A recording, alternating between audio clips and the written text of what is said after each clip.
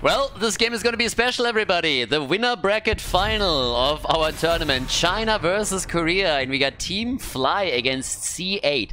Now, why is this going to be epic? This is a best of five series first and foremost, but we have the Chinese team in blue. Now, there's a little bit of a mix happening. We have a couple of Chinese players on Team Fly's side. Misaka is playing, for example, with the account Bone Punch. And on the left side, we also have one or two Koreans. And damn, they are speed picking. What the hell is happening here?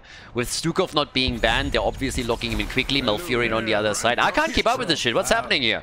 So, yeah, I don't know. But again, these guys are going to bring the fire today because C8 caused a massive upset when they played in the winner bracket semi-final against Team Tsunami with Hyde, Gonda, and so many others. So it was like full Korea HGC vibes from Team Tsunami. And C8 said, you know what?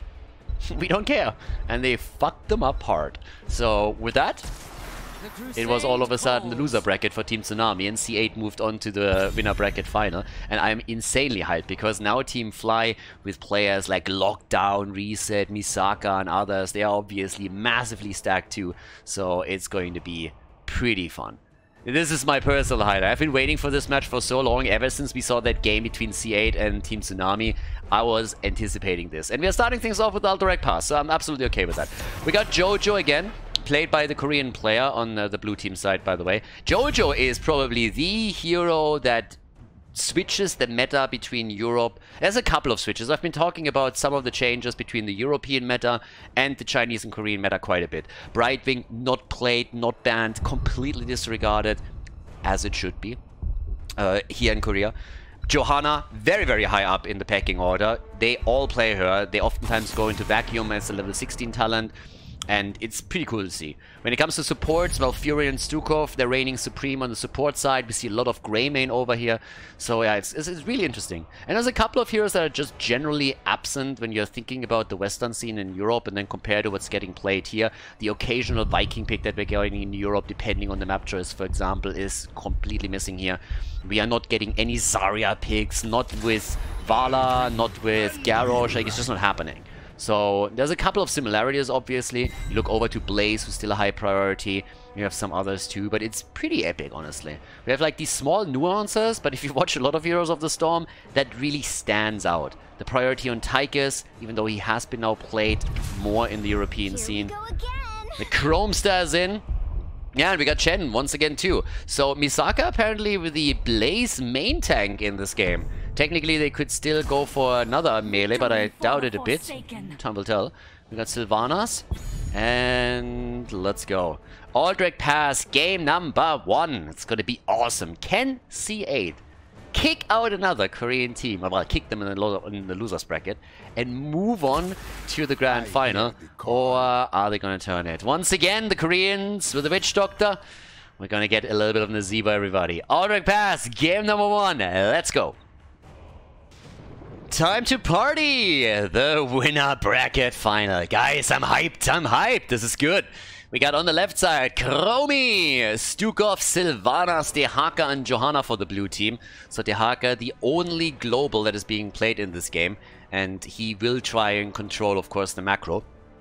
Then again, we have Nazeebo played by Team Fly, which means that if you get into the late game with decent stacking on your baseline, you can with Vile Infection absolutely ruin the opponent's day. So that's going to be huge. Chen, Tychus also in the mix. Blaze, played by Misaka here. He is in the main tank position and we have Malfurion behind all of that. Spiders is of course the name of the game. That's what you really want to go for. We got the Widowmakers on level 1. Chen going for the Stormstout secret recipe. And we have some globe stacking for the main tanks. In this case it's Blaze with the new habits. And Jojo as usual with the Laws of Hope. And already the brawl straight up in the middle as the teams are trying to go for the early kill and some hits in. Panda abuse already reported. PETA has been informed as Lockdown gets attacked. Yeah, he is going for it. But they can't lock anybody down. Fat Illidan in the early game is just not strong enough to really jump in and isolate someone. And just as I say, he all of a sudden cuts Johanna off and she's in real trouble. And that's a kill. That has to be a kill. There's the jump. Don't tell me she gets away. No. Oh. Wow. Am I wrong? Like, that should have been a kill, right? A little bit more body blocking. Gotta hone those old school Warcraft 3 skills. Yeah? I was about to say maybe play a little bit of Warcraft Reforged. but then I remembered that it's called Warcraft 3 Refunded and that nobody in their right mind would ever play that game. So yeah, good job Blizzard, good job. Applause, applause, applause. You managed to ruin a game that was 16 years old and make it worse. that is impressive. You gotta give him some credit for that. It wasn't easy. Now anyways, we're on Alterac Pass. It's a big map. By now we got obviously also our camps taken. Sylvanas has done the job on the left side. And over here we got Fly doing his thing. We got Lockdown up at the top. He's getting the experience for him in as well. Down at the bot lane. Spell currently moving through. He's the one that we need to keep a bit of attention to because again his baseline is going to be super important. If he is able to get this stacked in a reasonable time frame, then this is going to be a great game for Team Fly. But of course, C8, they know that, and they will try to push this a little bit, especially around the objective. Now, objective usually gets targeted around level 7. Maybe the blue team, given the composition of the two teams, has different plans for this one. They are being aggressive in the mid lane more so than anything else right now. And off we go. Zero kills so far. Reset might be the first. And he gets out. Vision was provided by Chromie. But a nice zombie wall as Nazeebo was flanking in. Tychus is still alive. Gets the shots in. What about Sylvanas? The spiders and the Moonfire of Malfurion are the end of her. Nicely done. The Witch Doctor came in. And Sylvanas had nothing. She had nothing. Absolutely nothing. So, they are trying to go for another kill. And Dehaka is waddling away down here. I don't know if he is able to get out of this one. If he gets rooted, yes he does, and the spiders are in. Even if he tries to burrow away, that grenade is still waiting, so Dehaka is also dead. That's a second kill for Team Fly. I mean, I can tell you one thing. They are not going to take C8 uh, for granted. They're not to think, okay, this is to be a win for us anyways. After what happened in the match against Team Tsunami, Team Fly is going all out on this one. And I talked a little bit about the Korean fan base in one of the previous games, and that they definitely were not happy about that Tsunami loss. So you see Team Fly here respecting the blue team and saying like, yeah, we have from the beginning to really focus down on this one because we don't want to lose that. If the Chinese team moves on to the grand final, and we have to bring this back somehow through the loser's bracket. That is less than ideal. So let's go and make sure that we're locking the victory in. But with C8 showing such great plays throughout the winner bracket, they, they are of course hoping for a win here. And we'll see if they can lock this one in. And I'm really excited because this is going to be a great journey. 50 stacks for boy Nazeebo. We now are on level 7 as expected. We have the team slowly starting to go for the prisoner camp here. Spider build is being continued. The exception is the level 4 talent for Nazeebo. Goes for the big voodoo over here. Still a bit of action in the middle of the map as Jojo is moving around again, trying to control them. here comes the flank, but this time Stukov was ready for it. Doesn't get surprised by that at all. The amount of stacks for Jojo is a bit concerning, by the way. She's only at 5. Look at Blaze, for example. He's sitting at 13 already. So our girl here is having some real trouble finding regeneration globes. We now have the Master Assassin on level 4, standard pretty much now for uh, most Tychus players, at least in uh, the Asian server. When we're talking about Europe, you still see that talent picked. Maybe not quite as frequently as we do over here, but still, European players have adapted to that style after the last tournament that we commentated from Korea. So there it is. Off we go. There's the attack already. And the next kill about to hit. Oh, no way she escapes again. I mean, are you kidding me? Jojo is unkillable somehow. She escaped for the second time, and Malfurion is totally lost. Who dies first? Jojo Malfurion? Jojo Malfurion. Both are still alive. Malfurion... Yeah, Jojo is out of the fight. Up at the top, they try to go for hard... Yeah, no way. yeah, that's an interrupt and a kill. That would have been kind of freaky. If he would have been able to just sneakily activate the Hearthstone and save himself, that would have been insane. Nazeebo is going full sp uh, specialist at the bot lane. And is just trying to take a couple of these towers down with success. So they have now the lead and experience that translates into the early levels, level 10. But also some structures destroyed at the bottom of the map, so good for him. Yeah, right now, 69 kills for Nazeebo. Yeah, it is a little bit, but still. Uh, so Nazeebo's at 69 stacks and is looking for another kill. And Sylvanas is doing what she can and escapes. The spiders are nibbling at the fountain. Where's the grenade? No! Reset the globe saves him! yeah, not clutch at all. Not clutch at all. Dives into the fort, gets nearly taken down, and then the globe saves him. The Nazeebo helping out a bit. Now, we have again, big difference here also, the adaptation on Dehaka. This is something that also doesn't get played in the West a lot, or ever. But here in Korea and China, this has been, I mean, it's honestly a bit of a 50-50, I would say, between isolation and adaptation. So both get played over here. This, on the other hand, total meta on the Korean side. Again, also played in Europe, of course. Falling Sword. They want the 20. They want the cooldown reduction. Still got some interrupts here. The top keg plays from Chen as he went into the barrel. So he goes for that. And with that, the Witch Doctor is still at the bot lane.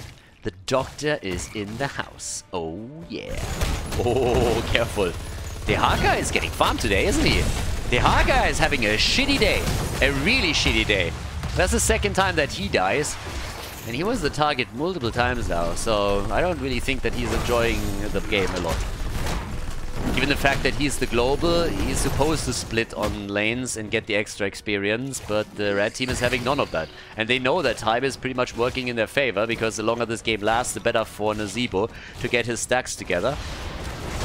Unless, of course, he gets killed too, and that is a hit. Yeah, that's a nice gank.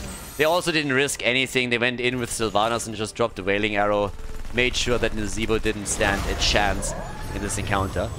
Nazeebo's, by the way, at 51,000 siege damage, so he's been left alone to his own devices for a long time and was able to do a lot here. But let's not forget that Sylvanas is also very good if you can get her onto the structures, because she's just disabling anything. And yep, that's exactly what's happening here. So here's the kill potentially. Sylvanas gets punished for pushing in a bit too far. And the blue team is also fielding a few more heroes in an attempt to turn this into an even battle. Superstition for Nazeebo now. Oh, careful. Odin, the slap, the big slap, and Chromie with a kill. Chromie takes Tychus down. Five stacks, by the way, for the Master Assassin. He's getting close. Well, not really. Closer, maybe. 13 to 13, and the objective has been claimed.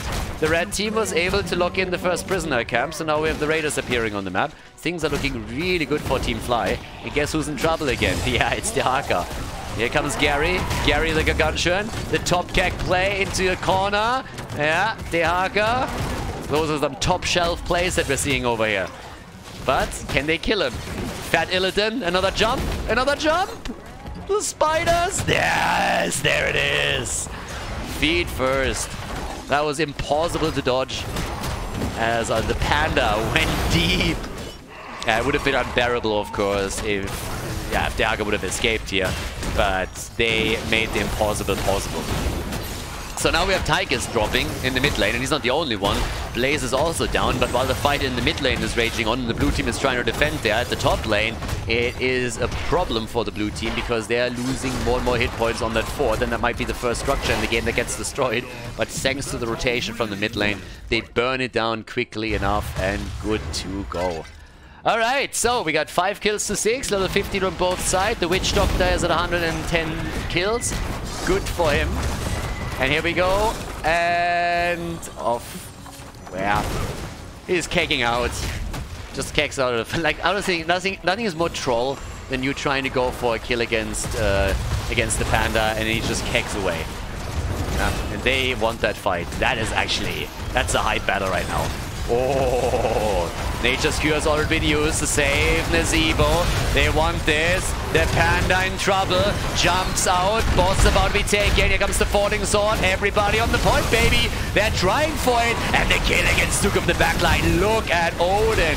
Just from the side, flanking in, taking them down. One kill, two kill. They're going for a third one. They steal the boss away. They take Jojo down. They want four, and they get four. Four heroes down. Only the Gnome is still alive. 16 on the board at this point. Full focus from Malfurion into the regrowth here. Wow.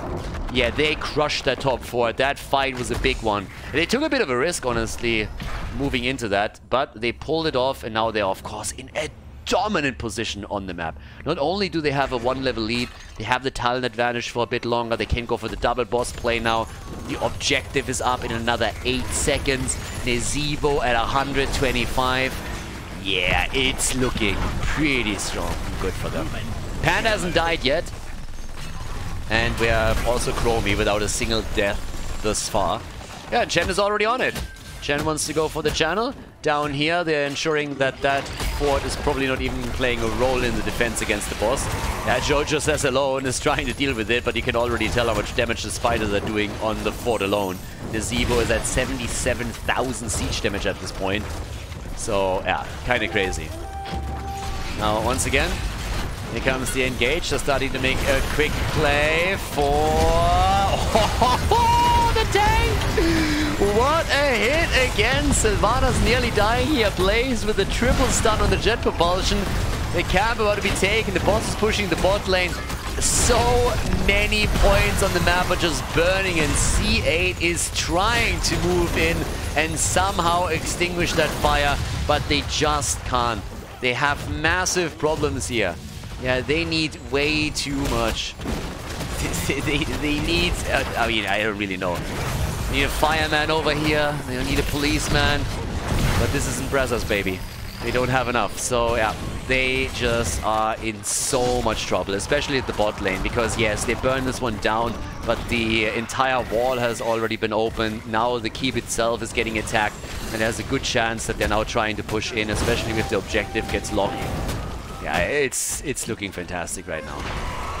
So with that, we have now 13 kills, 2-5, which by the way also means that our boy Tychus is getting dangerously close to completing his level 4 quest. Now, keep in mind, you don't pick that talent because you want to complete the quest. You pick that talent for the passive, but he's not going to complain if he's able to get the full value. I can tell you that much.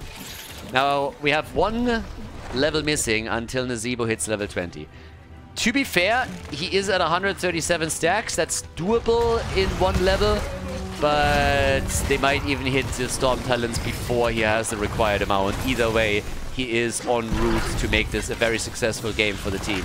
The rest of them are obviously also chipping in a whole lot of damage, especially when you're looking at Tychus with a 46,000 he was in a great spot earlier. Oh, now that we're talking about Tychus, he gets taken down. Yeah, earlier was in a great position. He flanked them hard, but now it's a problem. Okay, Chen is trying to go for Sylvanas here. And is she going to be able to get away? She's trying to jump out and successfully does so.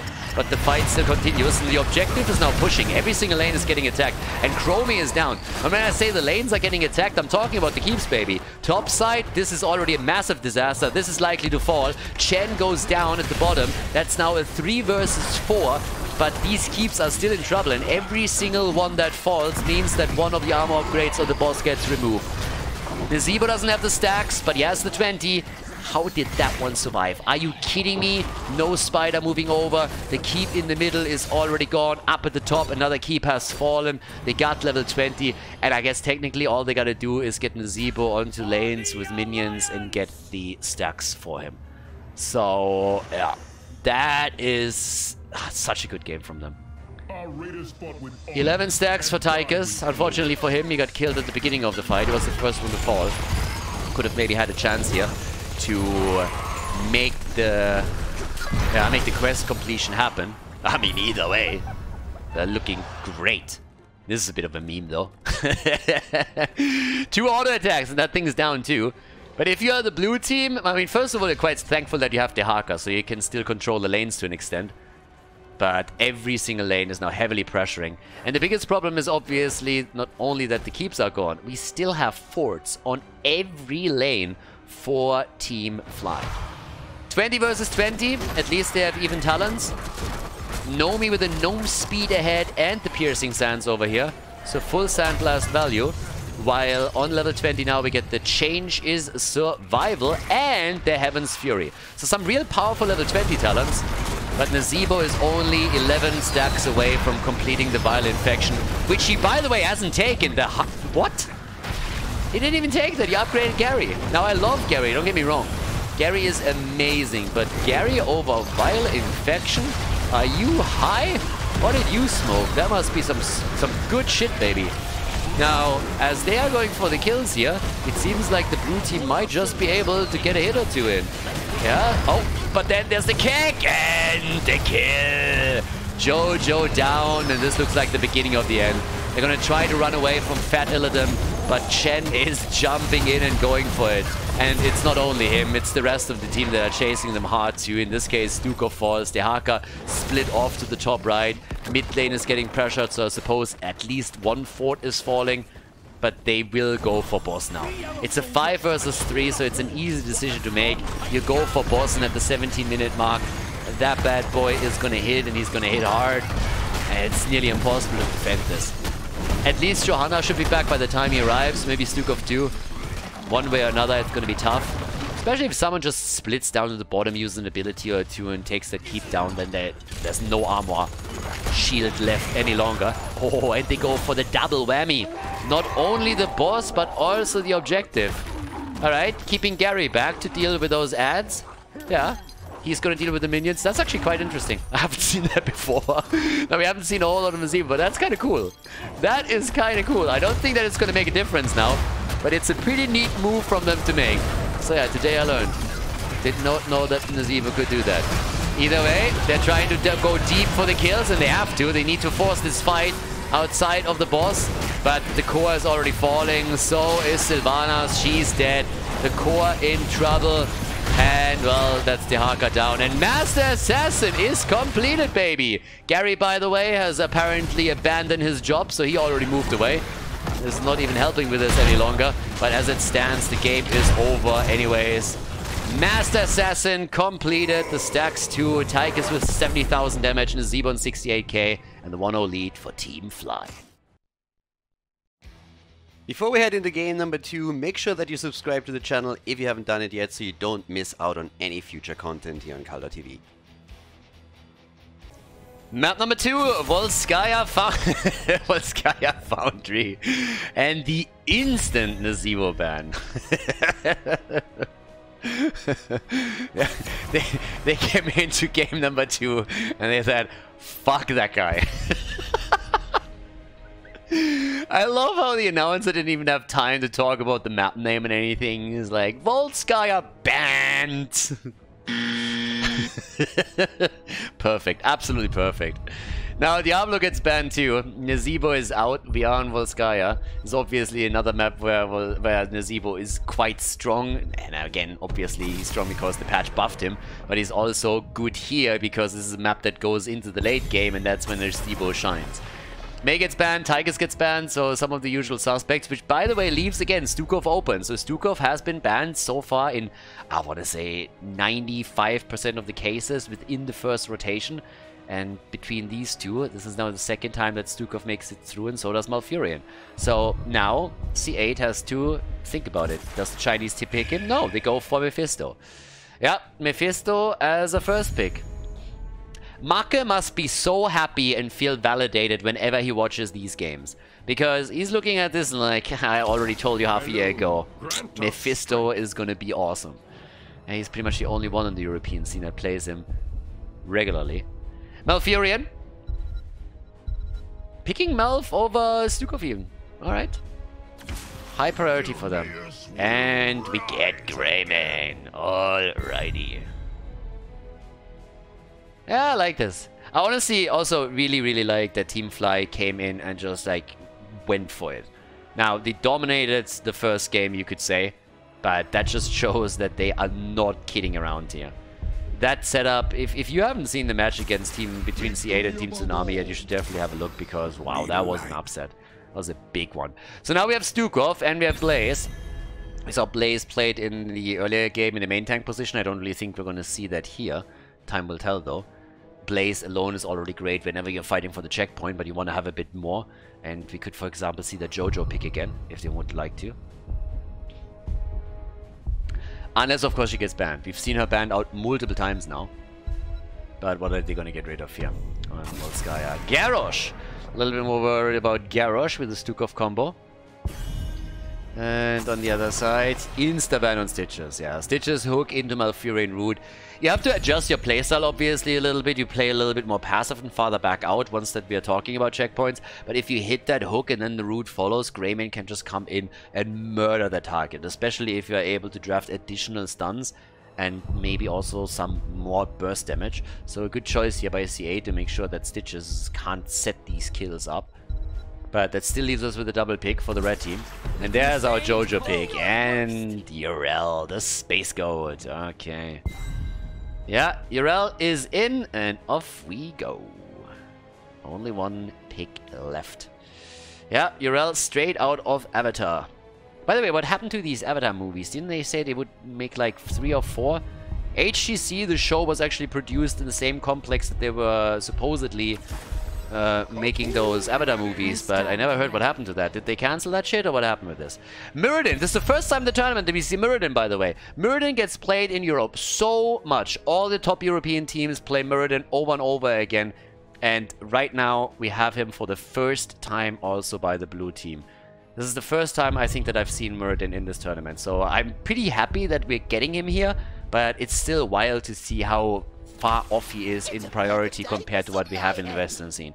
Valla on the last pick, Junkrat comes in too, so we have really nice damage dealers on both sides. We got Mephisto, Valla, Greymane, and Junkrat. That's awesome. There's a lot of utility too with Junkrat, specifically trying to isolate targets. Ah, That's Volskaya Foundry, game number two in the best of five series. So guys, let's jump in and see which team takes the victory on the second map of the series. Combat preparation. Game number two, the lead for Team Fly. They're of course going to attempt to extend that lead now on the second map. But C8 is going to fight back here. Now, the interesting part, if I remember correctly, when Tsunami was playing against C8, they won the first map, didn't really have any big problems there, and then things went south for them. So that was pretty crazy. seconds. Can the blue team do it again? We're gonna find out. We got Mephisto Muradin, Blaze, Valla, and Stukov for the blue team. Nice setup, a lot of sustain, a lot of good damage. Can they chain these things up though and follow with the lurking arm here? On the side of the red team, we got Yrel and Jojo, Malfurion, Greymane, and Junkrat. Also nice damage dealers, a lot of on-point damage. Valla with the arrow build for the red team, for the blue team. But Greymane, obviously, he is going to try and murder the Dwarf in particular. But there's a lot of tankiness that we have on both sides now. And I love that not only do we have tons of stuns here, but we also have Junkrat in. who can isolate targets again, and they're already going at it right in the mid lane. And Lockdown is dead. Oh, and they might even get more. That jet propulsion was sweet. Come in, take two hits, reset with a big dodge. They're trying. Can they get a hit? well, that was close. Valla was in trouble. Yeah, going away with a rubber ducky here. It's not the money pick, but I'll take it. Three stacks already on her level one. And Greymane still without a pick. But I like it. They're getting real spicy here. Both teams, heavy aggression from the beginning. That's exactly how it's supposed to be. So yeah, that looks pretty good. Muradin already jumping out. And we're gonna keep our eye on him, of course. At level 1, he went into the Dwarf block against Greymane. Not really a dumb idea. And of course, it's item time. At the one minute mark, you want to be ready. You want to rotate over to those camps as quickly as you can, just so that you are able to get the item. And if you take it early, then during the first checkpoint rotation, you will have that camp respawn, so teams can grab a second turret. And here we have it for reset now as well. He also went into the Viciousness as his level 1 talent. Again, delayed this a bit, but with both turrets now claimed, the only thing that's left on the map is the healing beacon.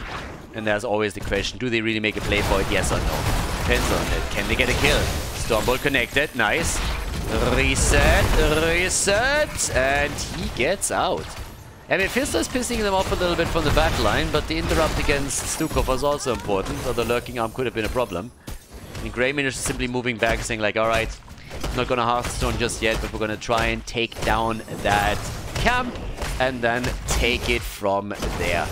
Yep, that's exactly where we're at right now. So let's see what they can do.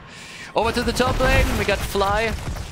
Fly spell, trying to poke this out. Nobody went for the play on the additional item, especially with the control that was already provided by Junkrat. They didn't really have to make a move there. So it seems like both teams are just happy to say, you know what? We're going to take that easy and we're going to fight for the first objective without that. The build, by the way, for uh, Mephisto also quite important because in this case we have Mephisto again focusing on uh, the Lightning Nova. Don't forget, we had a lot of Mephisto builds that were focused very heavily on the Skull Missile. And that's a great drop on Malfurion. Yeah, he got completely uh, blindsided by this one was way too far out and then all of a sudden they flank in from the top and he has no chance of getting away. So it's an easy kill. Talking about easy kills, it seems like they might just get another one in. Because Lockdown is in trouble. Can the Space Goat get out? Might be able to get away here. The Stormbolt connects and Lockdown still buying time for the team. it's kind of ridiculous how long Yrel survives. But she dies. And that is level 7 for the blue team. Level 7 for them. The trickery is in. And on top of that, we now also have the heavy impact. And of course, they can take control over the middle of the map again. We have right now the Frost Shot also playing a role here. Yeah, and it's time to get the party going with the level 7 talents now on both sides being available. And Yrel back to business. We have 40 points on the checkpoint against the 22% that C8 has. So still, everything's Gucci. But let's not forget that Team Fly didn't get a single kill yet. It's 3 kills to 0, so they have to uh, get their shit together here. And they're definitely going to get some kills eventually. With that lineup, even if you just stumble at some point, you're going to get a kill. Greymane in particular is already jonesing for uh, his ult. Just wants to get those hits out. Especially, of course, against Muradin, depending on what he goes for. But, yep. Here we have it. The plays by the blue team. They still have control to an extent. And they have that fountain already tapping it. Jet propulsion by Blaze as he moves out. But who gets the first kill here? The control has been retaken. Team Fly is starting to make a play for it. So they are about to hit it. Muradin is of course getting one Stormbolt connected after another in an attempt to lock them out and get some stuns in. A tiny leading experience for C8. I don't necessarily think that level 10 will be playing a big role here. Not the way that they are engaging, but still. That would be an advantage. It would, of course, be crazy if you can uh, time that properly with the objective, but they're getting their hit in. Stukov going melee mode again. Comes in and just murders. Greymane is dead too. That's two down. And once again, the Chinese team is crushing. Gotta love it. They did it against Team Tsunami, and now on map number two against Team Fly, they are apparently going for a repeat. They want to do the same thing again. And they are now nearly level 10. That's a lock! They get the first objective. Look at this, 99% for Team Fly. But who cares, because the blue team with level 10 abilities should be able to lock this one in easy peasy. Once again, they're going for the Consume Souls. And that's a beautiful stun on Lockdown. And he dies. Yeah, Lockdown got locked down hard. And now we have a Protector in the hands of C8. Yeah, that's going to be quite a bit of damage. Now, do they follow the meta with the Punisher, with the Protector, and just simply open up the wall and then rotate topside? Or do they change something? Nah, they go topside. So they're trying to take the fountain down. Goal is to take the fountain apart, and then you have a better time for objective number two on the map. No will yet for Jojo, but normally we would see the Falling Sword here for her. And there it is. Falling Sword gets taken, can put a bit more pressure on Stukov in particular, which is kind of neat. Greymane with the go for the throat. Uh-oh. And that's the problem for Greymane over here. Nearly dying, but he makes it out. Protector isn't able to get much more than the Fountain, but that's honestly all that you really need here. If you can get more, of course, you're happily going to take it. But the goal is to take the Fountain down, eliminate your opponent, sustain on the lane, and then just retreat. And wait for the objective. Six kills to zero. We still haven't seen a kill. It's kind of crazy. Especially with this lineup. Now, as mentioned before, that will happen eventually, or at least so I'd assume.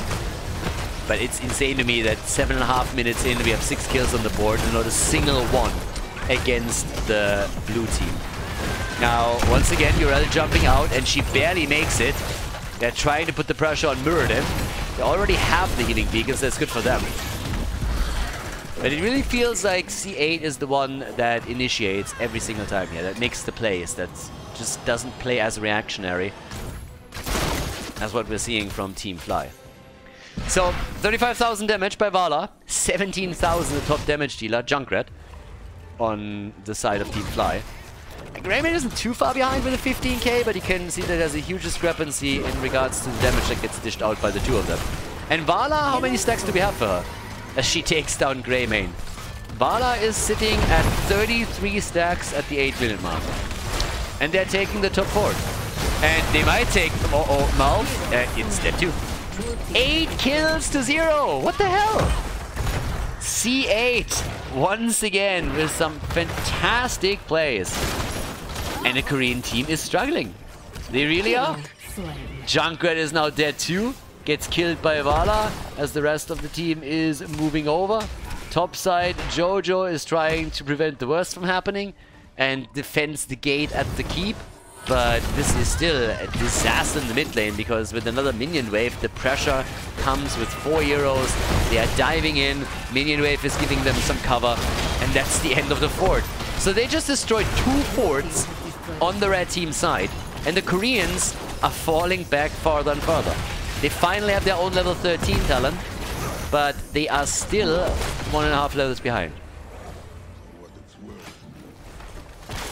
Yeah, that's a bit crazy. Lockdown dodges out on the Stormbolt. Oh, ho, ho, ho. Careful, Yrel. The RNG here could have murdered her. Junkrat down. It's just crazy. Junkrat gets hit by the ult from Mephisto. Now they have the kill on the Greymane. That's 10, 11 kills. 11 kills to 0. Lockdown might also fall. Tries to jump out, but gets greeted by the Stormbolt immediately. And that's another hit. All the forts are down. C8 is stomping in game number two. Seems like they always need one map. They needed a map against Tsunami. They needed one map against Team Fly. But now they're in full control of what's going on here. And are just crushing it. No, it's not even close at this point. Look at the gap in experience. We're talking about more than two levels. 12 kills to zero. That's just nasty. It's just absolutely nasty. Level 16 gives us now the static field. We also have the thermal protection. Valla with that build heading into the Seething Hatred. We've seen multiple times over the course of the week with these games. Greymane desperately trying to get them experience. Like, I'm helping. Takes the minion waves down, gets the team a bit of EXP, tries to get them closer to level 16. And all I can say is like, good luck, buddy. There is not that many minion waves around right now. Every lane gets pushed out by the red team and they're trying to go for another play. They're trying to go for another kill maybe even. Look at that look at that push topside. I mean, they're using that level 16 talent, they're using that massive gap in experience to break through the wall, hope for a kill, and Team Fly, they can to an extent sit there and just take the hits, but at some point they gotta move in and do something, and once it happens, the combo is ready by C8, and they lock down Yrel hard, and she's dead. The Space Goat is down, and now the top lane is even more vulnerable. They're gonna lose the keep here if this continues. They could lose the game! Guys, they could lose the game. Team Fly could lose the game here if they lose a few more heroes. C8 is playing through every single minion wave, soaking a couple of the shots here. The keep is already down to 50% HP. The objective is up. Nobody cares. It's still the second objective, by the way. It's still the top side objective. One of the big problems of Volskaya Foundry. You don't have to play with the objective. Oftentimes it's useless.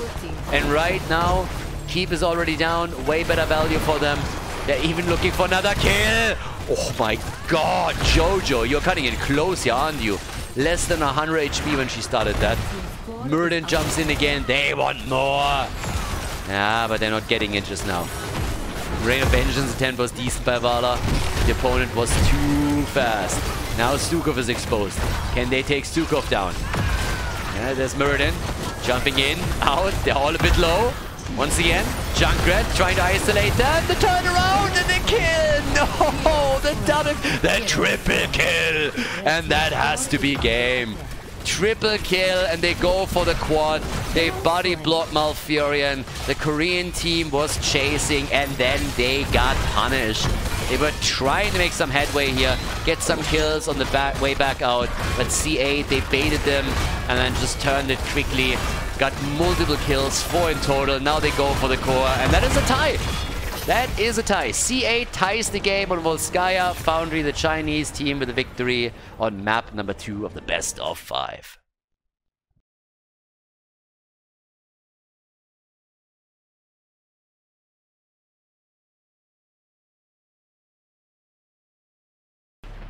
Let's go! Game number three! Yeah, C8 did it again. They lose game number one. Apparently they need a warm-up game and then they come out swinging on Volskaya Foundry and they drop them. Now we're heading into our next map, the third one, the best of five, Battlefield of Eternity. So, party time. First and foremost, we have the ban on Stukov. this time he finally gets banned out. And we also get Tychus and Mei eliminated, plus Garrosh. Ah, two-lane map, very brawl-heavy in the middle.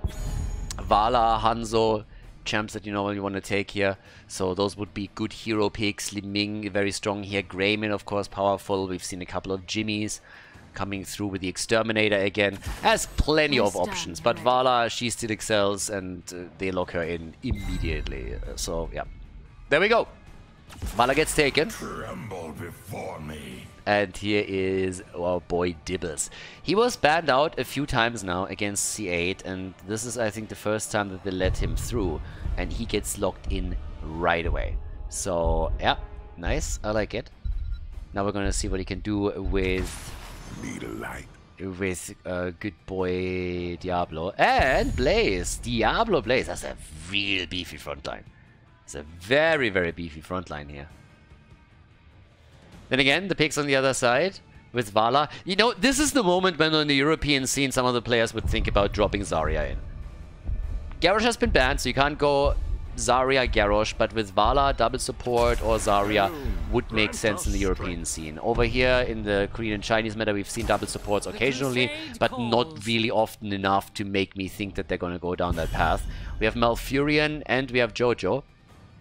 Nisaka with Johanna, the Chinese player. Yeah, they, they love Johanna over here. Oh my god. and Chen gets banned, yeah. Oh, they saw the panda a few times and they're just like, nope.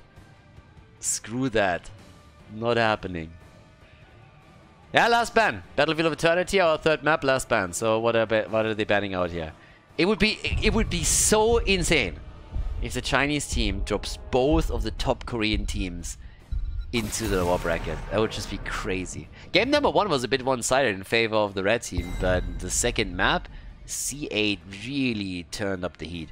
Now, a ban on Hanzo, again, one of the best damage dealers against the Immortal. They already have Valla, who with an arrow build can absolutely shred that thing.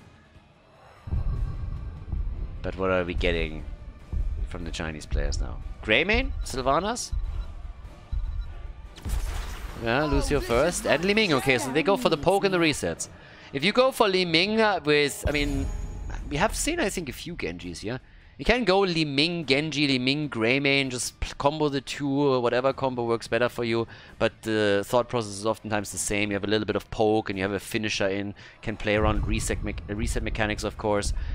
Still, to be seen if Team Fly maybe picks one of those two damage dealers for themselves. They still need one, and Greymane would fit their composition too, but they also need a side laner. Ah, and we get Nazeebo. That's actually an interesting pick here. Nazeebo, so a lot of times when you're going for Nazeebo, you still want Vile Infection. Now, he is a lot stronger right now. Those spiders are super annoying and he can be powerful, but Battlefield of Eternity isn't really a map where you expect to go not only always to level 20, maybe that more so than completing his baseline. That's more that's the bigger problem. Because the lanes are so far apart, you normally don't have a chance to complete the baseline, which means that Nazeebo loses a bit of the late game power that he normally has. So it's kind of interesting that they still pick him here. That they believe that even without that, he is going to be a huge asset to them also in the late game. And Greymane gets taken on the other side, so as pretty much expected. So game number three. Who pulls ahead here? C8 against Team Fly. Battlefield of Eternity, everybody. Let's go. Third map of the best of five. No Begins for battle. Game number three, Diablo and Blaze on the front line for the blue team. We got Greymane and Li Ming for damage against the Immortal, long range poke, and of course also potential resets, with Lucio trying to keep those boys alive. On the right side of the map, Team Fly playing with Deathwing here on the side lane. We got Jojo, Valla, Malfurion, and Nazeebo. Now, Valla in this case is heading straight away into a supposed arrow build. Now we've seen multi-shot builds in Battlefield of Eternity, especially in the European scene a lot. But given what we observed so far between uh, the uh, Korean and Chinese teams, Arrow build makes the most sense, and here it is. Now Nazeebo will go spiders. I would be shocked to not see him aim for that. He is probably going to heavily focus on the Immortal too. If he can drop the spiders on the Immortal, that definitely gives him value. And this is also where the hero got buffed the most. I was still a bit skeptical, just simply because Vile Infection and his, his baseline quest is so important for him as well, that you would think them going into Greymane, for example, might have been the better choice here. But either way, Nazeebo can chunk, don't get me wrong. But it's going to be real difficult to get that late game value or that baseline trade value. Now, previously they already went into the upgrade on the Gargantuan, so it's not too crazy. But yeah, we'll we'll see how this plays out. Either way, the blue team has a scary, scary lineup. And seems like Spell is gonna be in trouble, and he's the first one to fall. The Witch Doctor is down. Nazeebo, the first victim, but maybe... No, they just can't get the kill against Li Ming. And now Reset is in trouble too. Wants the assist, wants some help. And they might just be able to get Valla out of this. No, she dies, but so does Greymane. it's a full fiesta down here. Everybody dead and dying. Three kills after only a minute. And that's a lot of stacks also for our Valla and a Nazeebo player. Yeah, good stuff. So we have them with some early aggression. Both of the teams just want to go for that victory here. And I really, really love the way that this is playing out. This is exactly what I was hoping for from uh, the winner bracket final. An intense battle between the two. Even if it ends up being a 3-1 victory for one of the two teams. This has already been pretty spectacular. So we'll see who gets the win on Battlefield of Eternity. I mean, for now, Valla is just stacking. It's also going to be really good for her in the late game scenario here. Diablo is an easy target for her at this point, but she also needs to be sure that she is not hit by him. So if he gets a bit too close, this is going to get dangerous very, very quickly. Seven stacks by now for Reset. Should get the repeating arrow in just a second. It's the blue team that locks the level 4 talent in just a tiny bit faster. And they're making both now play for the bottom. And Valla a bit too far out. Gets immediately attacked, but the roots are on the ground. And Valla is able to walk away. Hits another one. And that's a Diablo kill right there. But Greymane with the counter as he goes for the throat and takes Valla down. Deathwing dropping in from above. Blaze therefore alone on the top lane. They need to get kills here. And they do or that move would not have been a smart one. But it still gives Blaze time to attack topside. So Valla is now making her way up to the top instead of rejoining the four heroes at the bottom of the map. Yeah, she is going to try and make sure that not too much is lost there, but actually they are starting to switch away from this. They're going for the camp. They're running a bit out of time, so they're trying to get the two damage dealers to lock the Shaman camp in. Valla now finally with a repeating arrow. And yeah, they need that. They are a bit off. The blue team has decided not even go for the Shaman camp. They decided that it's way too late and they said, guys, let's just go for the Immortal. Especially if they waste time on their camp, we can maybe lock in the halftime show for free. And they are super close on that. But of course now, C8 also has to deal with the top lane pressure. Nazeebo is already attempting to burn this down a bit. And once that the Shaman makes it through, you might take a lot of damage on those structures. So the halftime show gets locked in by C8. They have the lead now. But Blaze needs to stay at the top a bit longer and ensure that they're not losing too much. But you can burn it down now. And that's what they're trying to do. And the damage dealers are again a little bit late. So the Korean team, they need to again make something happen here. Valla is stacking and stacking and stacking. Sitting at 10, 68 for Nazeebo. And now they're trying to bring the counter damage here. But on the left side, the blue team is nibbling at the Immortal HP once again. And they are committing Greymane in Worgen form. He's chunking them down. That's a big shield on the Immortal. And they get it. Can they keep everybody alive? Actually, the answer or the question is changing very rapidly. They were nearly losing Jojo, but instead it's Blaze that's false. And Leo is not in the game, but Diablo, he dies. So Dibbles is down, 5 kills to 3. And this one could hurt. Full spider setup for the Zebo now. And, well, this one could hurt, but there's only 3 that will push with it. So very little that C8 can do. Now, they should be able to take the wall down, maybe even the fountain. But it, of course, is going to take time for Diablo to arrive here, and Deathwing could also move down to the bottom again. They're already attempting to just poke from a safe distance and get some shots in, and it's enough to take the wall down with ease. And if they get access to the fountain, they will drop that one too. But that push could have been a lot more dangerous if C8 didn't lose two heroes after they locked in the Immortal. So there, there is that.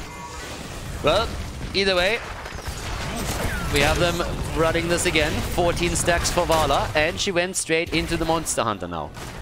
Monster Hunter is something that, interestingly enough, we haven't really seen on Battlefield of Eternity with most of the Valla builds, even when they went for Arrow. They normally went away from that even though it is one of the most impactful ones against the Immortal, of course. But Valla gets attacked again, and we've seen this over and over again. Reset is in so much trouble in these fights because he's a little bit too far out and the team is immediately going for kills.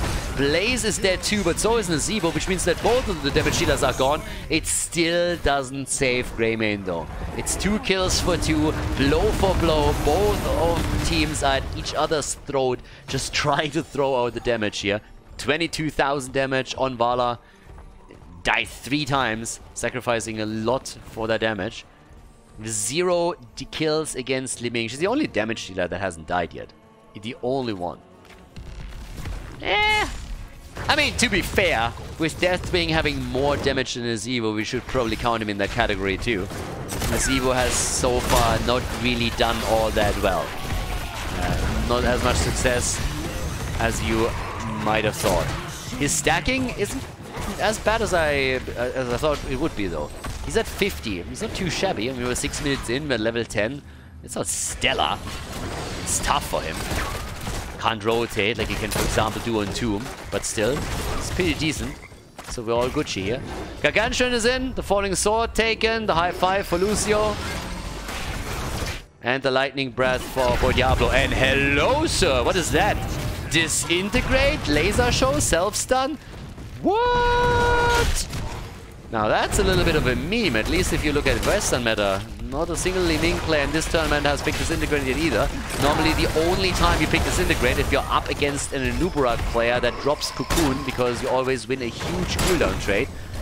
But Disintegrate is not something that Li Ming players traditionally play. Wave of Force is just way too good. Way too good. Wave of Force is insane.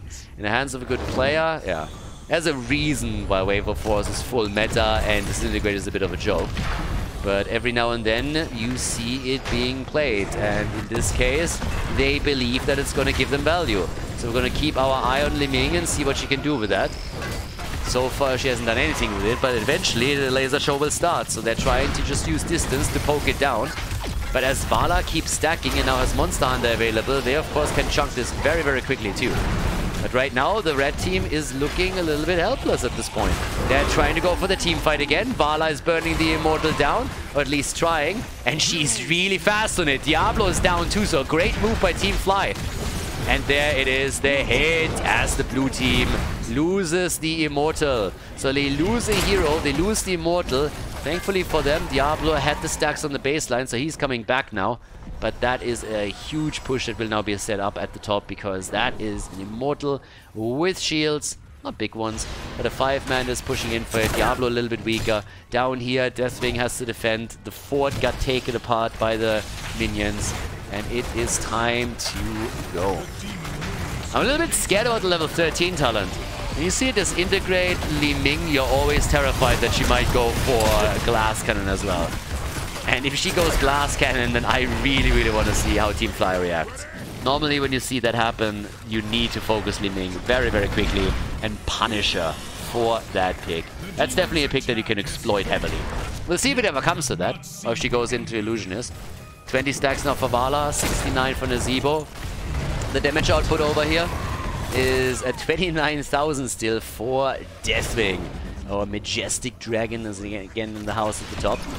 8 kills to 5. And China vs Korea can never complain about too few kills. It's always a party. always a party. So, here we go. All the way up at the top. They're trying to isolate them again. Deathwing moving straight to the back line. Nice trap against Lucio, but he's able to get out. What about Diablo, though? They want him, and they're so close to getting him, but they can't. Li Ming, uh, yeah, she drops his, his integrate, has to move away here. But it's just insane that Diablo has survived this. Walks out, gets chased by four, and makes it happen. Big push still at the bottom of the map. That is structural value that they're getting here. And as you can tell, Team Fly is having trouble breaking through any meaningful structures. Dropping a wall at this point in time is just not going to cut it. You need to do more than that. And it's just not happening here. The 13 talents are available now. That gives us, in this case, the Ice Block. We got Jojo with the Holy Fury and the Siphoning Arrow for Valla. Valla with the extra sustain now on 13, just as we have C8 hit their own talent level. Only one camp on the map, and that's getting claimed by the Chinese team quickly. And at the top, can he go for Blaze? No. He sniffs it out, moves away, and thankfully Li Ming picked Illusionist. I'm happy about that. I was scared for a second after I saw Disintegrate, but no, no, no, no, no. Doesn't want to die. Just as I know, guys, I'm not that crazy. I might go for Disintegrate here and try to go for the long-range poke against the Immortal and occasionally against some heroes, but I'm not that insane. The halftime show, again, won by the red team. Can they lock in the Immortal? That's the question. They are doing tons of damage with that cap at the top, so Blaze isn't even here. That's a great position for Team Fly. Can they finally get the Immortal? I think the answer is yes. That's the second one in a row they're locking in. And this one has big shields. Big shields for the big damage. 16,000 hit points still left as it falls. Jet propulsion propels uh, our boy farther forward and Blaze gets the connect, but it's not enough to, uh, yeah, to focus the target down. So right now, we have 8 kills to 5. We have a level lead already for Team Fly, and they can extend that. They can now push in, extend that lead a little bit, and start to work that bot lane. They also need to take some forts down, because again, Red team already lost the fort. They already lost main structures. They have to bring this back a bit and establish some control over the map again. And up to this point, he's doing fairly, fairly well. So is jumping in against the fort. They're taking this one. This one is an easy drop. And given the fact that we still have more than 50% of the HP remaining on the Immortal, he might just be able to go through the gate as well and open that wall up a little bit. And that's half the battle. More and more damage, obviously, for Valla. 25 stacks for her. It's not as crazy as it could have been in the early game. Oh, that bullet! And the kill of Li Ming. Yeah, he did not respect Greymane. No, definitely not. Deathwing just stood there, the bullet hits and it hit hard. And then Li Ming says, well, I got it from here. You take a break, buddy. That bullet was awesome. I'll do the rest. And she has the range on it and just simply destroys him. So we have 41,000 damage, the top damage dealer in the game. Still Deathwing. Valla and Nazeebo are so close though. So we have three heroes that all did more damage than the top damage dealer on the side of C8. But they still have only taken down a single fort. But they're getting a little bit better here. I mean, again, they're getting slightly ahead now. Are they pushing in for the cap top? They should. Deathwing is already signaling, hey boys, I'm here. Let's go zero deaths on living. Dibbles, and he's dead. Diablo dead again. Ah, that's just bad news. With them losing the frontliner over and over and over again, they just don't have anybody to sustain them and to provide some cover for the range damage dealers. To Just create that space. So what happens instead is that we have a talent advantage for Team Fly. They take the fountain down. They're trying to make a play for the opponent's Siege Giant camp, which obviously adds insult to injury. Not only do you not have it pushing for yourself, you gotta invest some time to make sure that it doesn't destroy any of your structures.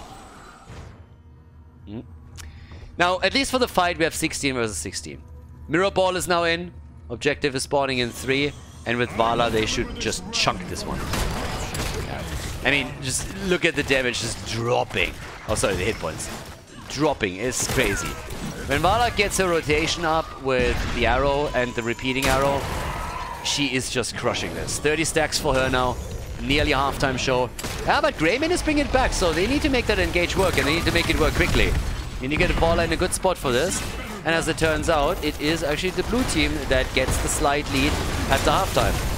So now C8, they are coming out swinging. They're trying to bring this back. The last few fights haven't really gone in their favor, but they are very determined to change that right here and now. But they are on the run as well, since they lost a lot of hit points at that front line.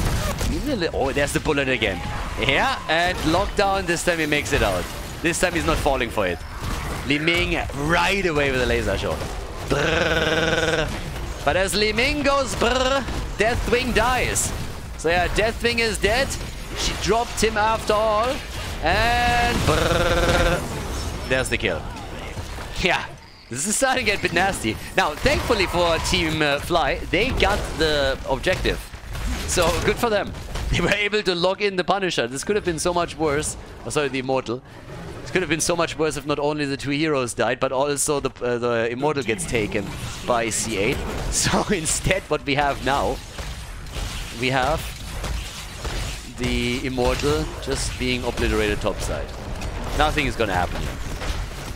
There are four heroes that deal with this. There's nothing else on the map now for Team Fly to take. They have to wait. Deathwing back.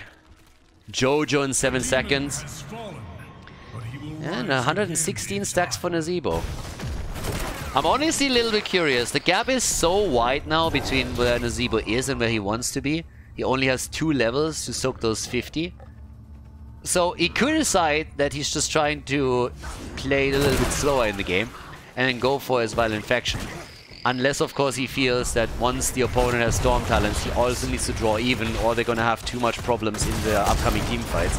Because if that's the case, I could totally see them go for the Gary upgrade again. Yeah. Very, very likely going to happen again. He's a little bit too far off. Unless he's able to get some additional waves now. He did it on Alterac Pass, so it stands to reason that he's going to do here too. Unless they really feel that they're going to slow this down. I guess it depends a bit on what's happening around the next objective. But Violent Infection is obviously just fantastic. He's 42 stacks off though, that's a lot. Especially since they're already on level 19. But yeah, so we got all the way top side. The quest completed for Diablo. Again. Now we have him in a much better tank position. It's a trap. It's a trap. But yeah, they're not swinging it. Nobody is falling for that. So it's 2021, baby. That's what's happening here. Eight kills to nine. 17 kills in the game. 17 minutes. Deathwing, he's poking from the skies. And everybody else is rotating towards the immortal positions. yeah. This is a spicy one. It's a 1-1. This is game number 3. And honestly, I don't really know at this point who's going to take it. It could be C8. They're behind in structures, granted, but not by much. And they have been playing a hell of a game, a hell of a series. Stun into Immortal, stun attempted, but didn't quite work out. Rain of Vengeance was not enough here. They're still poking from afar, especially the blue team, of course, wants to make that play. But here's the attack against Diablo, and he's dead again. The bunker too late, Diablo down, and now they go for Blaze. But Deathwing turns to Deadwing and gets murdered.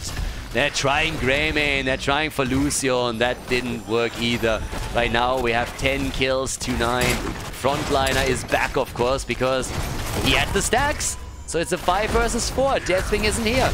Diablo got killed 5 times in this game, by the way. 5 times. And now the Immortal needs to be defended somehow, but you're a man down. You're a man down, and there's the second kill. And all of a sudden, C8 turns it again. They're coming in with a double kill on Valla and Jojo. And now it's time for them to lock in their Storm Talents. Unbelievable. Once again, they're starting to turn it. They did it against Team Tsunami and against Team Fly. It looks like they might be able to do the same thing. It's just nuts.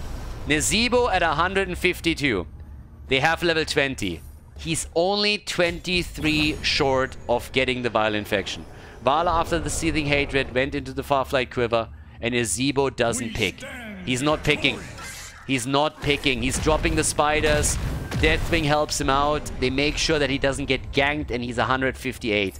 He's gonna wait it out if he can. The cooldown reduction on the Falling Sword, on the other hand, is of course gonna have a massive impact now. They're already abandoning the top four. They know this doesn't stand a chance. Instead, they're trying to get Nazeebo down to the bottom wave to take this down. If they have vision at the top, he's gonna move out. And they have vision, so he's moving out. He's trying to get the stacks together as quickly as he can here. Does what he can. 160. He needs to help them eventually, but they're already attempting to burn it down. Falling Sword is in. We got the Student Fire and the Serenity, but yeah, they might even have to sacrifice the keep. And he goes for it. Vile Infection. Vile Infection. He is 13 short. It's not going to be here for the fight, but they're going to try their best to ensure that they're not losing too much. If they can save the core, there's still hope for them. But they need to save the core. And at the pace that they're burning the Immortal down, they're going to make that happen. What a game again. Yeah, this is this is again spicy. Nazeebo stacking once more. Stack, stack, stack, stack, stack, and he's so close now. They're gonna get it for the next fight. Especially with this wave pushing in at the bottom of the map thanks to the camp. Yeah. The next wave is coming in and he has it. They just need to stay alive at the top. They need to stay alive here, but keep in mind, the keep is gone anyways. There's nothing to defend. Unless they push into the core, there is nothing to defend here. Nothing that you really have to go for. Nazeebo sitting at 65,000. 65,000 for him as he's about to complete his quest talent. And there it is. Vile Infection is completed. Alright, now it's going to hit and it's going to hit hard. Alright. So, by now, it's going to be dangerous. Keep the damage in mind that I talked about. 65,000 for Nazeebo, 68,000 for Valla. That's where we're at. Late game. Yes. Yeah, they don't have... They have Deathwing. He could defend. Nazeebo also has the wave clear that he can, of course, utilize at the top lane whenever this pushes in. There's going to be catapults. But it's 20 versus 20. God! Absolutely love this. Okay! Next Immortal. This is the big one. 70,000 against 65,000. Top damage in the game, Valla. For now. Let's see what Nazeebo can do. This is the big power spike that you want to have for the Witch Doctor. But you still have to keep him safe in the team fight and ensure that he gets this, those hits in. If you can do that, then he's a monster. And we'll see if they can pull it off. There's already the attempt to flank a little bit. Just moving around, also guarding the position, of course, slightly. And now it's time to party.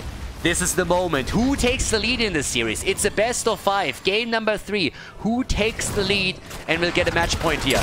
Uh, Diablo with a Hellgate move as the stun is about to hit him. Goes in for the Hellgate. The Immortal already down to 50% HP. And the halftime show has been taken. C8 with the pressure. They have the pressure and they have the top lane with catapults. Where's that fight? They're trying to force the fights right now. Nice zombie wall. Great zombie wall. And there's the damage against Greymane. Has to tap the fountain, but Malfurion in the back. And Malfurion is dead. Too deep. Not enough. The kill against Lucio on the other hand. Oh my god, it just explodes. Everything explodes. They go for it. Jumping out with more hits. Valla is dead and so is Jojo. What are they doing? They need Nazeebo to go for the Brai or they're going to lose this game. The core is about to get attacked too if they don't deal with the catapults here. That is a disaster. Big shields now. They had such a good initial position. And look at Nazeebo's damage. Guys, he jumped up 17,000 damage in that fight. 17,000 damage. If they save Jojo, or if they just save them, if Malfurion doesn't get blindsided like this, and they can just sustain themselves a bit longer, this would be a completely different battle. You just gotta give the Witch Doctor some time. But the blue team doesn't. They flanked, they got the support, they got the healer, and now they are on their way to a potential victory. That Immortal is chunking, and it's up to the Witch Doctor to deal with it. There they are, spiders everywhere, but the keep is falling. That's a given. The only question that has to be answered here is, can you save your core? The damage against Blaze. Deathwing into Deathwing. Is it happening again? No. But the core gets the Zac. Nazeebo. Greymane is dead. Greymane is dead. Nazeebo took him down. Nazeebo killed Greymane. They go for the core. They're YOLOing. If they YOLO too hard, they might lose the game here. Oh, 50%, 40%. Diablo down. Lucio down. 6%. And this is game. They take the victory. C8 is ahead against Team Fly.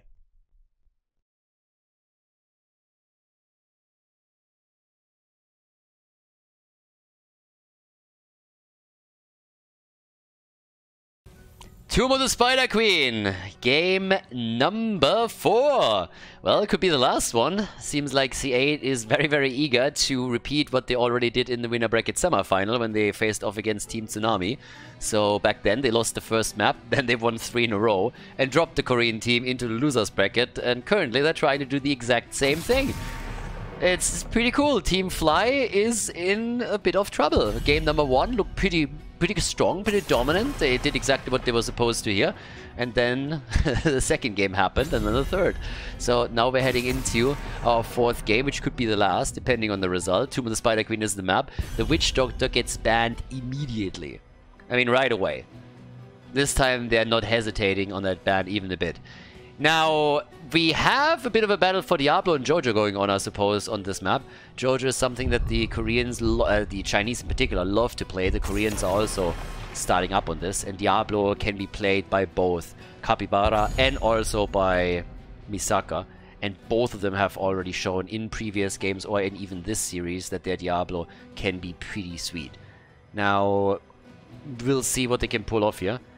On Battlefield of Eternity, then, on the other hand, I gotta say that Diablo got a little bit farmed. I mean, towards the end, he had some really sick plays. He got nearly locked down twice and was able to escape with the Hellgate, so that was nice for him. But they definitely started to murder him heavily, and Valla with a single target damage and Nazeebo with those spiders made it real difficult, so they played a lot around his stacked baseline uh, talent. But we get Valla instead first. They still have, of course, picks, so they leave the tank choice up to C8 and pretty much tell them, listen, we don't care which one you get here. We'll pick on the next one and then we'll see. But we want a Valla, especially given that Tychus and Nazeebo are banned out. But there's the Mephisto pick again. Okay. So it's pretty much a game of tank chicken that's getting played now. Who picks first? And with Lucio and Mephisto, it's also a very strong start for C8, especially since their Mephisto kind of wrecked on uh, Volskaya Foundry. Map number two. And Mephisto is something that pops up more and more and more over here. They really, really like it. Yesterday, we've seen so many Mephisto games. And there's Diablo for Misaka. I loved his Diablo plays in the previous series that they had. So I want to see what he can do. And Ana as a support, I mean, not only she herself is awesome, but I really, really want to see what they pull in with her. Is, for example, Li Ming going to be banned now? Is that something where C8 looks at the lineup and says, well, a nano boosted Li Ming, we don't really want that. We don't want Risa to get the resets. Or what are they getting rid of? You could also go for some Malthael players again. We've seen that uh, before. Granted, Infernal Shrines, different map, bit of a different lineup here.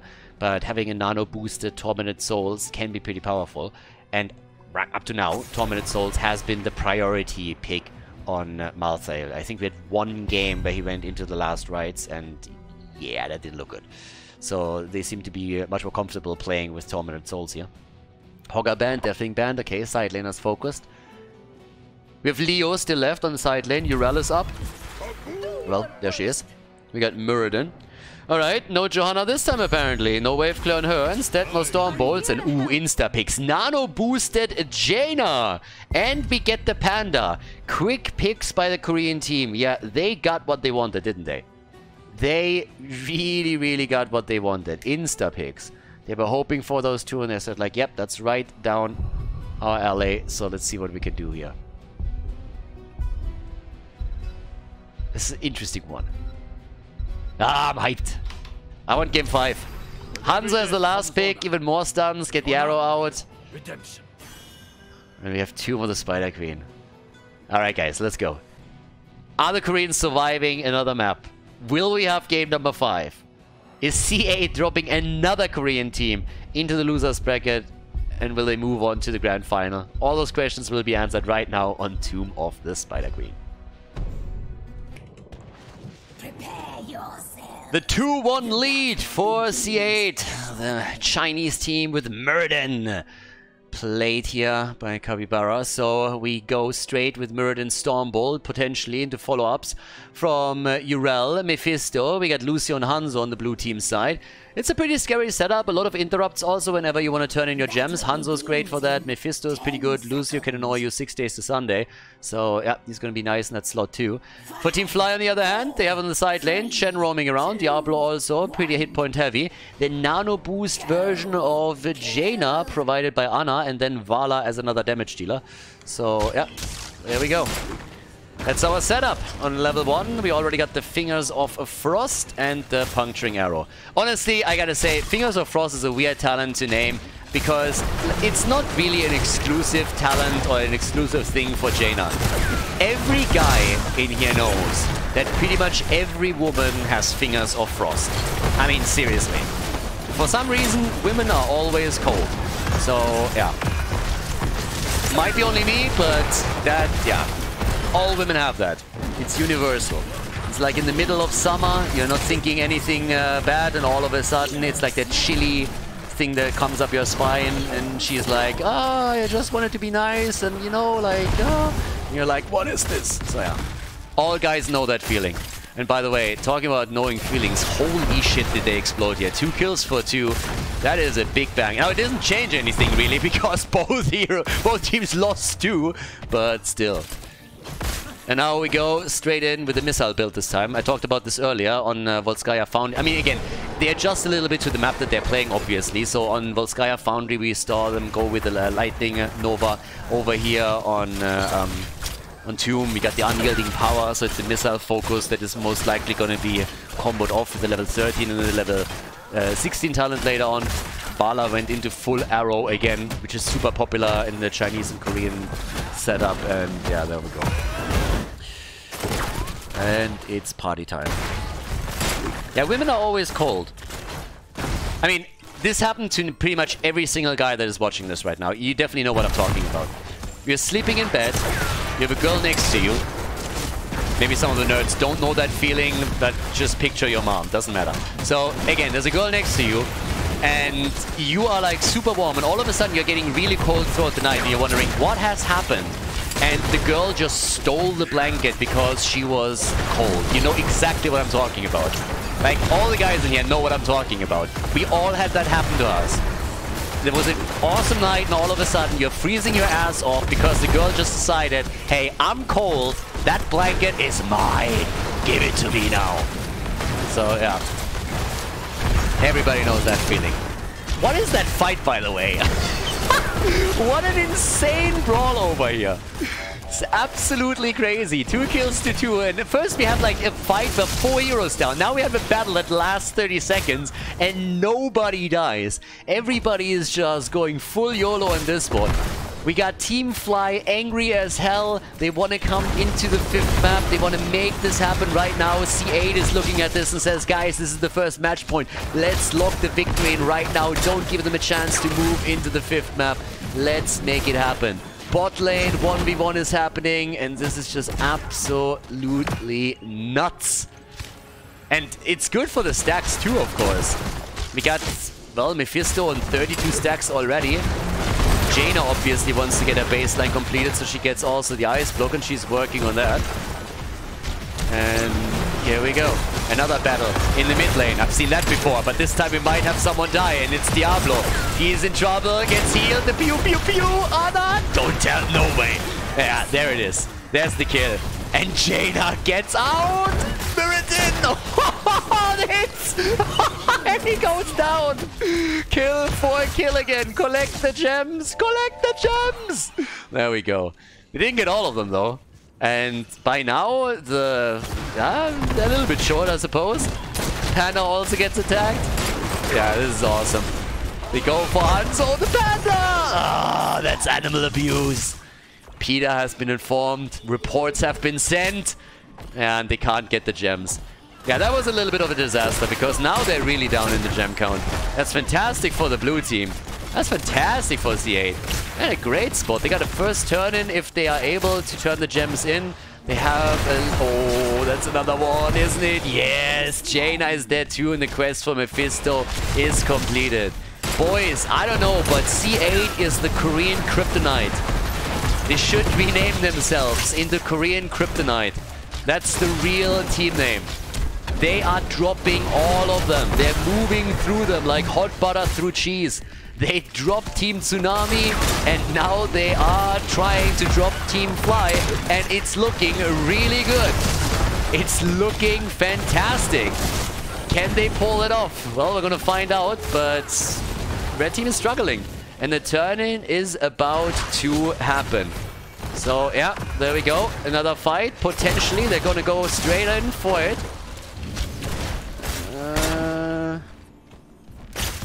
Can they? Maybe? Yeah. No, they don't get Gem. Or do they? They really want him and they might get him after all. It looked like he could jump out here, but yeah. In this case, I guess they finally save him. It's 5 kills to 3. But look at Mephisto in particular. Every single time in the thick of things. He's sitting at 24,000 damage. Hanzo is a little bit more. Padded his stats up to 30k. And this is just getting spicy. That turn is gonna hurt because we now have a half level lead for C8 already. And this is not gonna be easy. I like that they got the camp here. So this is actually important. This is really important for the defense. So they have the camp, can time it proper, properly also. What you do here, web weavers are coming down, are gonna touch ground right here. But now there's the big opportunity to make a play and, of course, gain momentum for the blue team. That's exactly what they're going to try and do here. Take a fort down if they can, get a few more kills, deny some gems to them. Yeah, the damage is already there. Ana, by the way, is just pew pew pewing like crazy. There's the tens. Where's the arrow? Where's the arrow? Keep an eye on Hanzo. They're going to try. They're going to try to connect it. That's the moment where they can make the play. And for Team Fly, this is a nightmare. They're moving back because they know they can't fight without heroic abilities, or at least they shouldn't. They're exposed, the mid lane gets attacked, and they are losing that fort. It's just the perfect combo for C8. Level 10, any second now. Muradin jumping in. Diablo is there. Lightning Breath straight being used. Where's that nano boost when you need it? Where's that boost? Mephisto coming in, going for the ult. The booster Jaina trying to chase them down. Going for Yrel, getting the hits connected, but it's just not enough.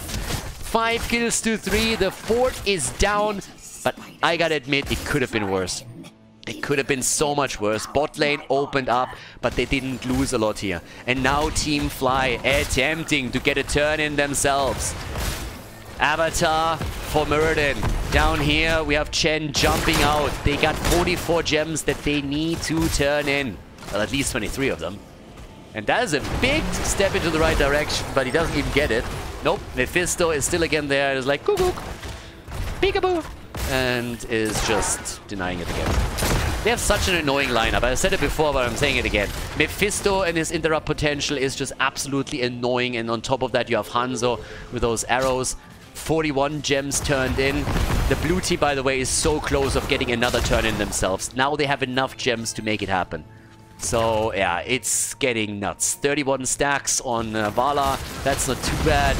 Jaina is about to complete her level 1, but guys, the turn-ins, no! There it is! No, not like this! There goes Jaina, the turn-in is happening, 20 gems on Misaka's Diablo, and Dibbles, he dies! The arrow hits Valla. I told you, Korean Kryptonite, and I mean it. They go in for the next for the next fight here. This is just nasty. This is just nasty. They come in and the Korean Kryptonite is moving through the mid lane. Down at the bottom of the map, the fort is going to fall to the Web Weavers here. Level 13 talents are in the top keg place. 40 gems now. 40 gems on Chen. The Panda has it all, but they're losing ground. But they finally, finally, they kill him. They take down Muradin. That might be the first step towards a successful defense, but it is already so much infrastructure that they had to give up here. Look at that keep in the mid lane. It's low. It's at 25%. Down at the bottom of the map, the fort has fallen. This is still pushing. Top side, another fort is getting attacked to Team Fly. They are in such an, a huge amount of pain. And of course, with level 13 talents and this much of a lead, you might even make the way to the play for the boss. They might even go for that. So right now, we got the ults at least up, but they need kills. They need some momentum. They need that level 13. And it's just getting so dangerous here too. If Valla gets sniped, for example, again, then they might just lose even more ground. Now, we have still a couple of gems for Team Fly, so of course they lost a lot, but they are currently sitting at 67 and they have turned in 40.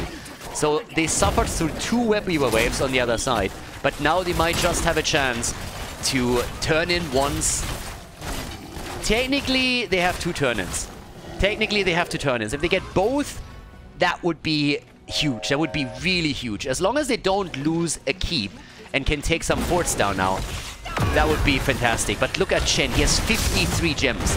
They need to make sure he turns in. And yeah, down here, the fight, Chen gets isolated a bit, by the way. They really want him, and of course they do with 53 gems. I mean, are you kidding me? Of course you want the Panda. So they're trying to go for it. The strafe is already getting used, and Hanzo needs to back off. The Red Web Weavers are, coming down. It was Diablo that turned in. Chen, Chen, Chen still holds a solo turn-in pretty much. That's where we're at right now. If we are heading into the next turn-in phase, Chen has a chance to turn in by himself if he just gets two more gems. That's where we're at. And the problem, of course, for the red team is that all of these lanes are so heavily pushed out that the Web Weavers are pretty much just spawning at their own base. So, that's just nasty. They need kills and ah, the Web Weaver's already gone.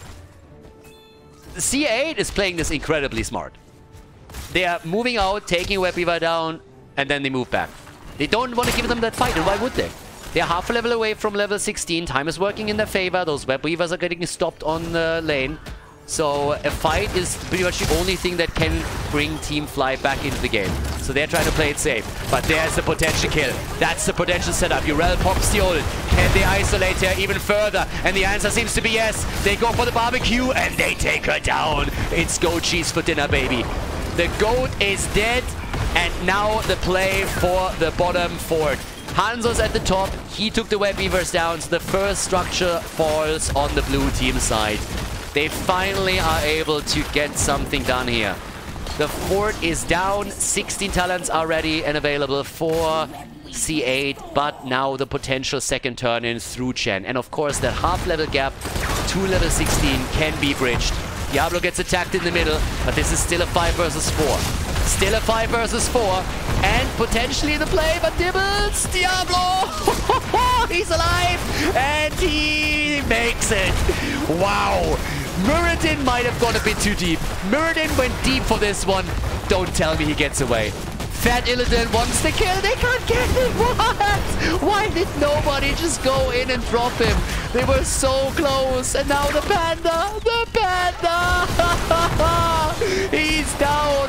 All the gems. Ana is dead. And they drop also Valla.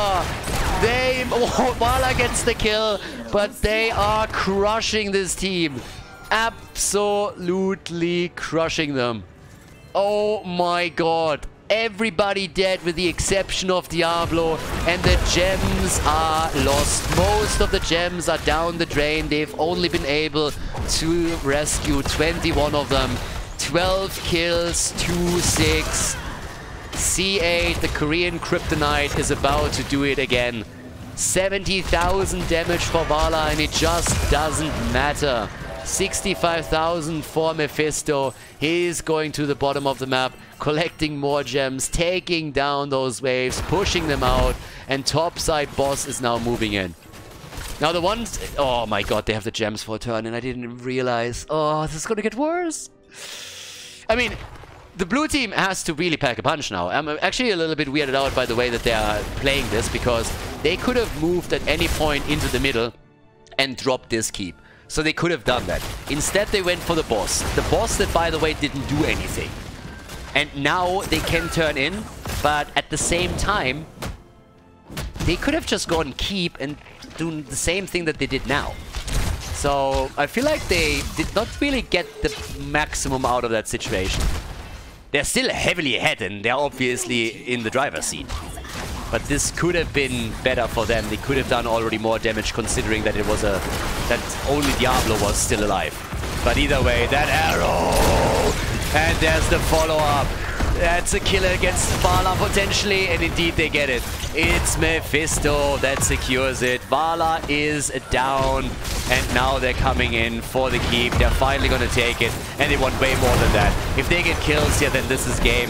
Jaina is dead. The damage dealers are all gone. Ana is on the run. Muradin shows no mercy. No mercy whatsoever ever. And that's the kill on Diablo 2. The only one that survives is the Panda. Lockdown. He's trying to get away, but he's not going to make it either, is he now? Nope, he's gonna die too. That's a five-man team wipe as C8, the Korean Kryptonite, moves through Team Fly like hot butter through cheese. The five-man wipe, and they move on to the grand final and drop Team Fly into the losers bracket. Unfucking believable. What a performance by the Chinese team.